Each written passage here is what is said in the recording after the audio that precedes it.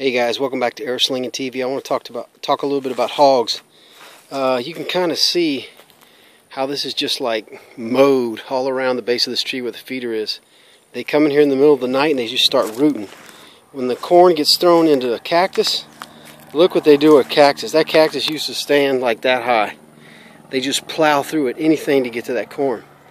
Um, they're considered a nuisance animal here in Texas, uh, pretty much all throughout the southern United States.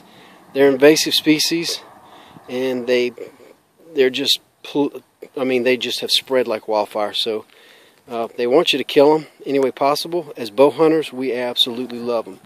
But just look what they can do to a cactus bush, man. This is it's awesome for me. I get excited about hogs. Look at the big hole they dug. anyway, the hogs are coming in under the fences. Look, I'll show you. Look right here.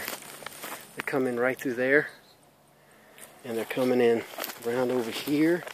You can see where they push the dirt out of the way. They even got some spots where there's mud and uh, right underneath the fence there. They can get through anything, but they do some destruction to crops, and we love to hunt them. So, bam, that's what hogs do to a feeder setup. Look at that cactus, man. They just mow through it. It don't bother them at all. I'm Ty. We'll catch y'all next time right here on Arrow Slinging TV.